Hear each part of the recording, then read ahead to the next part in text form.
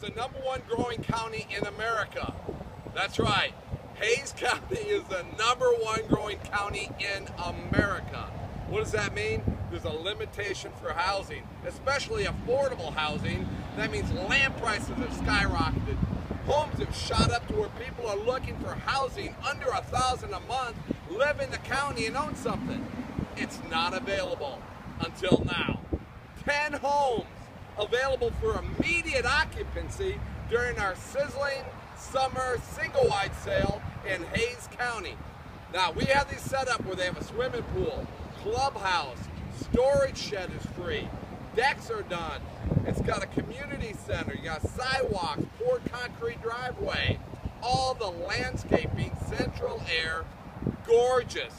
$950 a month, move in now before school. At our sizzling summer savings sale in beautiful Buda, Texas, call us at 512 400 0580. Say you saw my ugly mug on the video, you get $10 for pain and suffering. Just go ahead and say it, but call Palm Harbor Homes in Buda. Stop by. These homes will not last. We're expecting them to all be sold before the end of August. So call today, come on down, take a look at the difference.